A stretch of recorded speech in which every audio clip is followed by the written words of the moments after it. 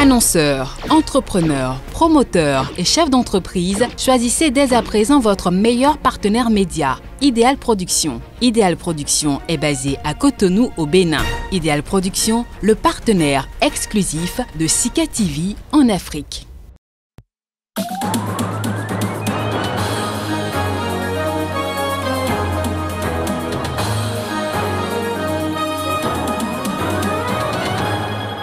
Le Parti démocratique de Côte d'Ivoire, PDCI, réfléchit à de nouvelles perspectives. Un comité politique est mis en place pour une nouvelle stratégie politique.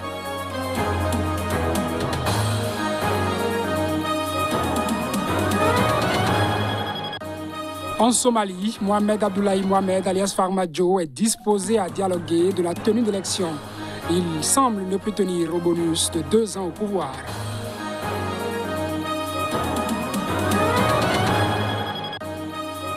L'Algérie entre crise sociale et politique. La situation économique en rajoute à la tension dans le pays.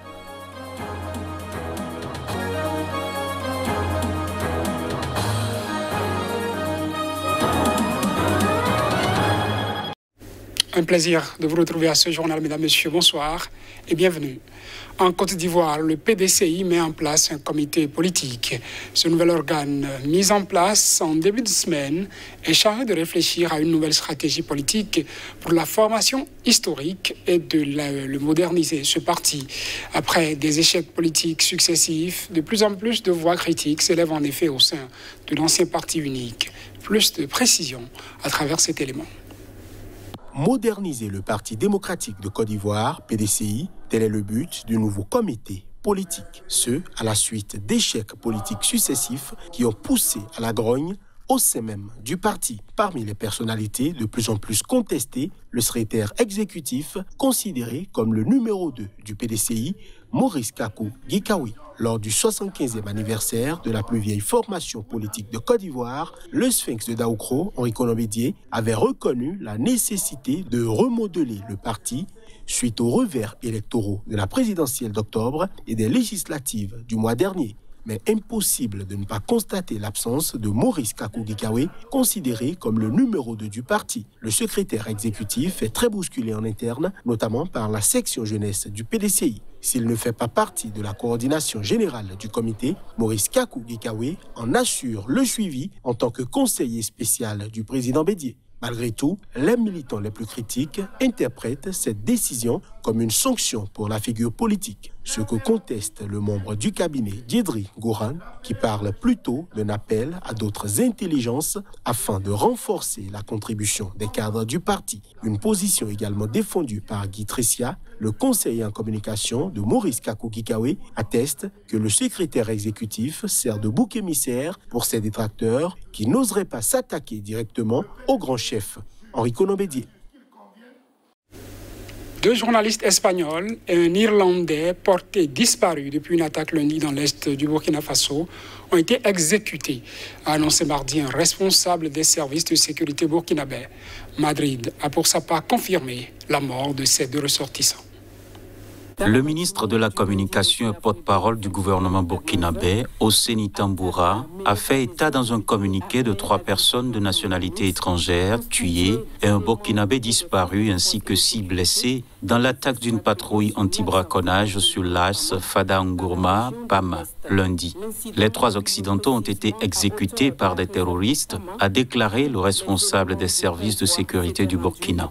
Les personnes sur les images diffusées par les groupes armés ont été identifiées comme étant les trois Occidentaux qui étaient portés disparus lundi. David Berian et Roberto Frel étaient deux reporters aguerris, travaillant régulièrement sur les terrains difficiles. À Madrid, Premier ministre Pedro Sánchez a confirmé mardi la mort des deux Espagnols. Né en 1977 selon les médias espagnols, David Berian avait cofondé et co-dirigé 93 Métro, société produisant notamment des documentaires. Il travaille régulièrement avec Roberto Frel, journaliste reporter d'images, âgé de 47 ans, selon les médias. Il réalisait un documentaire sur le braconnage, a indiqué à la télévision publique espagnole TVE Adriano Moran, co-directeur et cofondateur avec David Berian de 93 Métro. Ils étaient depuis peu de temps au Burkina Faso. Ils savaient tous les deux que c'était un terrain difficile et qu'il y avait une possibilité que ce genre de choses arrive. Et le pire est arrivé, a-t-il ajouté.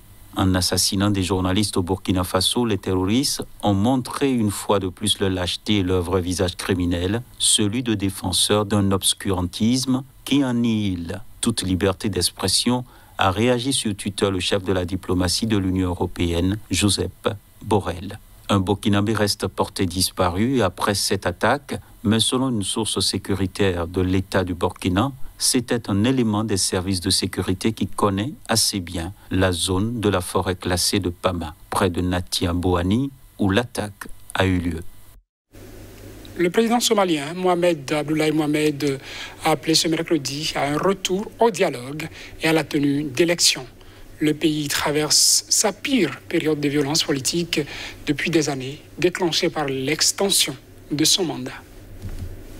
Le président somalien Mohamed Abdoulaye Mohamed, mis sous pression par ses alliés, a appelé à la tenue d'élections à l'issue d'une journée de mardi qui avait vu des habitants de Mogadiscio quitter leur quartier, créant de nouveaux affrontements armés. Le dirigeant s'adressera au Parlement samedi afin d'obtenir son approbation pour le processus électoral et appelle les acteurs politiques à tenir des discussions urgentes sur la manière de conduire le vote lors d'une allocution à la nation diffusée sur les médias d'État. Les tensions politiques enflaient depuis la fin du mandat de Farmadio, qui a expiré le 8 février, sans que des élections puissent être organisées. Le 12 avril, le Parlement a voté une loi prolongeant son mandat de deux ans dans l'attente de l'organisation d'un scrutin à la fureur de l'opposition. L'impasse électorale s'est transformée en affrontement armé dimanche soir, alors que des combattants alliés à l'opposition installaient des barrages dans plusieurs quartiers de Mogadiscio. Le président et les dirigeants du Puntland et du Jubaland, deux des cinq États semi-autonomes de la Somalie, ne sont pas parvenus à s'entendre sur la manière de conduire les élections. Mardi, deux États semi-autonomes, ceux de Galmoudoug et Dir Chabel, ont officiellement rejeté la prolongation du mandat présidentiel et appelé à la tenue d'élections. Allié de Farmadio, le Premier ministre a salué cette déclaration et appelé à l'accélération d'élections justes et libres. Il a également appelé les commandants militaires à ramener leurs forces à leur base et exhorté les leaders de l'opposition à arrêter les actes et mouvements qui peuvent générer un conflit violent. Première adresse du nouvel homme fort du Tchad. Le général Mahamat Idriss Déby s'est adressé à l'opinion publique à travers un discours télévisé. Le chef de la junte militaire au pouvoir entend organiser, entre autres, un dialogue national inclusif dans une période de transition de 18 mois. Un extrait de son intervention. Ces valeurs si chères à notre défunt président seront éprouvées et sanctuarisées dans le cadre d'un dialogue national inclusif qui sera organisé pendant cette période de transition. Je serai le garant de ce dialogue qui n'éludera aucun sujet d'intérêt national selon un calendrier précis que le gouvernement sera appelé à dévoiler. Je voudrais également rassurer nos partenaires que le Tchad continuera de tenir son rang et assumer ses responsabilités dans la lutte contre le terrorisme et respectera tous ses engagements internationaux. Tous nos compatriotes en exil, pour une raison ou une autre, qui sont loin de leur terre, doivent rentrer au pays pour le bâtir ensemble. Leurs frères, leurs fils, leurs parents les attendent comme nous, les bras ouverts dans l'esprit de paix et de réconciliation. Et la répression des manifestations et les violences ont été condamnées hier mardi à Paris par les présidents français et congolais. Félix Tshisekedi, qui assure la présidence tournante de l'Union africaine, était reçu à l'Élysée pour un déjeuner de travail avec au menu le dossier tchadien. Suivons ensemble.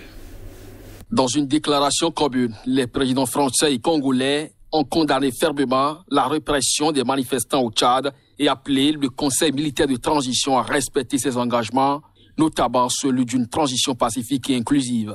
L'occasion pour Emmanuel Macron d'affirmer haut et fort son soutien à une transition démocratique et inclusive, alors que la France a été la cible de slogans hostiles hier lors des manifestations en Djamena. Quatre jours après son déplacement en Djamena, le président français a également tenu à faire une mise au point.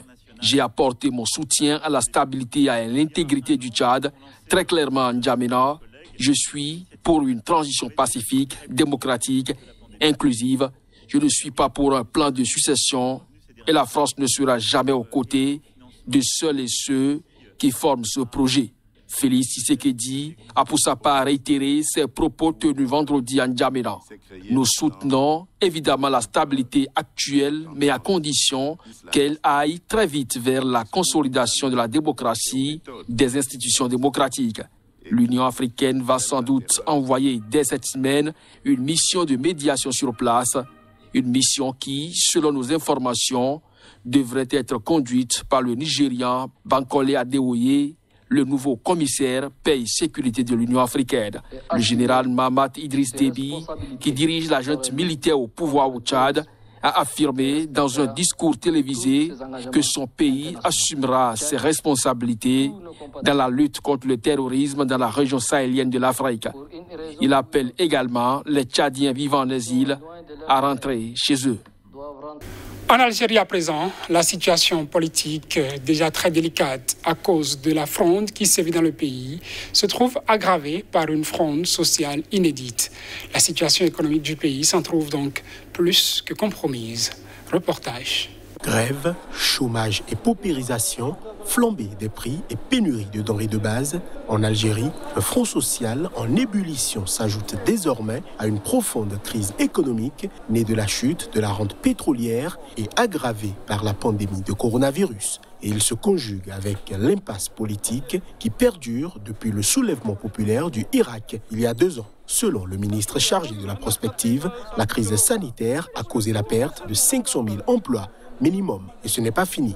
La récente décision de fermer 16 ports secs devrait occasionner la perte de 4000 emplois directs. La fermeture des usines de montage automobile après un scandale tentaculaire de népotisme et l'arrêt des importations de composants d'appareils électroménagers ont coûté plus de 50 000 emplois en 2020, a reconnu le ministre du Travail. Le Fonds monétaire international évalue à plus de 14% le taux de chômage, signe inquiétant pour un régime paralysé face au retour du mouvement de protestation dans la rue, la multiplication des conflits sociaux dans les services publics, postes, éducation, administration fiscale, chemin de fer, pompiers et secteur de la santé éreintés par le Covid-19 dont les contaminations repartent à la hausse après une grève dans les bureaux de poste qui a privé certains Algériens de leur salaire, pension ou retraite, le ministre de la Poste et des Télécommunications a été limogé mardi par le président Tebboune. Au mécontentement social se mêlent les mots habituels du mois du jeûne en cours du ramadan,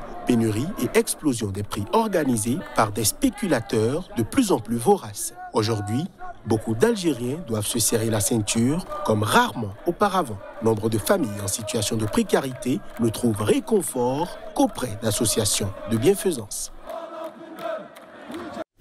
Et c'est la fin de ce journal. Merci de l'avoir suivi. Nos programmes se poursuivent sur Sika TV.